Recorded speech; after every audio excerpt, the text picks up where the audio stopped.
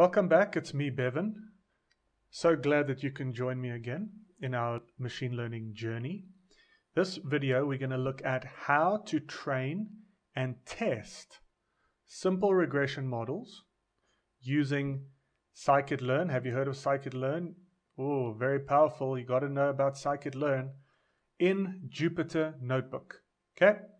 So in the previous videos, uh, they've mainly been theoretical, conceptual, intuitive. Those are the ideas that I had in those videos is to kind of give you an intuitive understanding of what's happening. And specifically the last two videos, previous two videos, we looked at this idea of training your models on a training set, taking the entire data set, right? And uh, getting a test set, a, a training set out of that, and a test set. We take that test set and we hide it away, and we take our models, we train them on the training data set. We train them, we fit them. But then the idea is that we want to test those models on some unseen data. Okay? So that we can measure their generalizability. How will these models fare in the in the real world with new data? Okay. So here we're actually going to try to implement this in Python, Jupyter Notebook, using scikit-learn uh, libraries. Have you heard of scikit-learn? Let's see. Over here, scikit-learn. I highly encourage you. Get familiar with scikit-learn. Learn how it works. They've got, what is scikit-learn? Scikit-learn is essentially a machine learning library of pre-coded machine learning algorithms that all you need to do is import them. Uh, by the way, I still feel you need a deep understanding of machine learning. Uh, you don't just want to be importing these models in and then and not really knowing what you're doing. You need a deep understanding of machine learning, of data science. But the, the wonderful thing about scikit-learn, the libraries, is that you just import these already um, uh, programmed models and then you apply various kinds of, of uh, applications to this by perhaps the, the most important is to carry out hyperparameter tuning to tune your the, the hyperparameters of the model. But that's for another video. But the point is, it is extremely powerful, scikit-learn.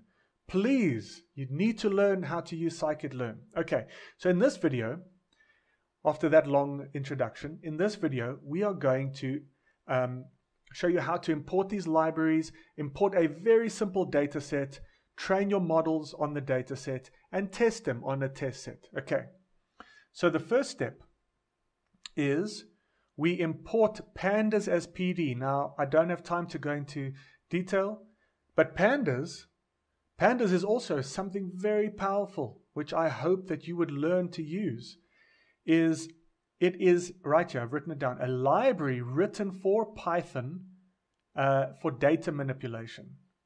Okay, so it is it is an incredibly powerful package that allows you to manipulate data sets. That's all I'm going to say. We can we can make another video on pandas for another time, but you need to learn to use pandas. Okay, so always when you're carrying out a machine learning project, you need to import your libraries. You need to import a data set. Okay, import data set, that's the second step.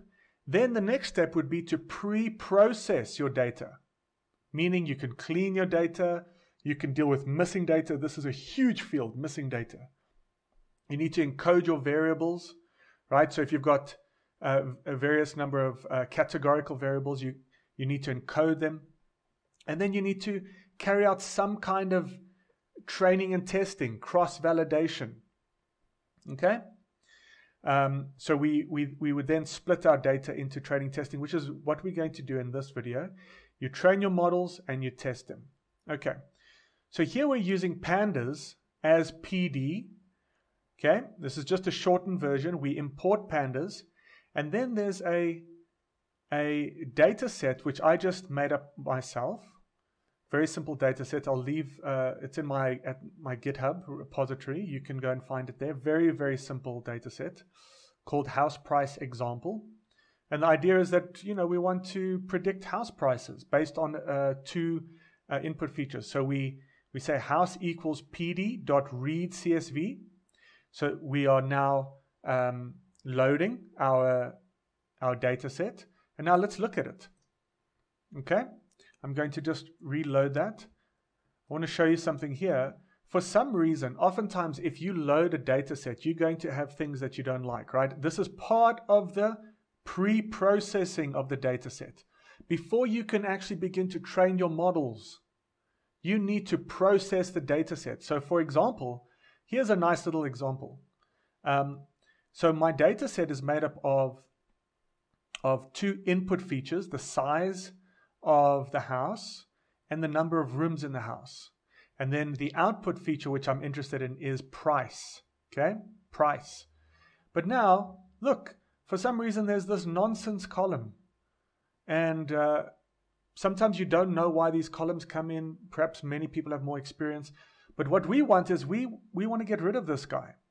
So this is a nice little example of how to, um, of a data set. And by the way, this data set is made up of 20 rows. Okay. Now, the interesting thing about Python is that it always starts on a zero. So your first row or your first column will be your zeroth row or column. Okay, so now I want to get rid of this unnamed 3 nonsense column. So I can use another pandas, pandas functionality called uh, house.drop. Okay, so we say dot drop open brackets, and then we call that column. And then we say axis equals 1. Axis equals 1 means we're dealing with columns. Axis equals 0 means we're dealing with rows. Now it's important that we say in place equals true because if you don't say in place equals true, it will delete it the first time, but then it won't permanently delete it. Okay? So if we say this we, we drop it now, okay? And we look again at house. As you can see, that unnamed is gone. And if I run it again, unnamed is gone. But say now I take away, say now I take away that um, in place equals true. Uh, okay, you see, you see it's already gone. So let me just reload this. Okay, now you see that it's back.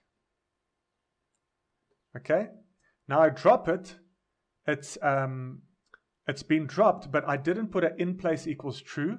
So that means if I go again to house, it's going to be back. Do you notice that? Okay. So all that this did was I dropped it, but it was a temporary drop. So I put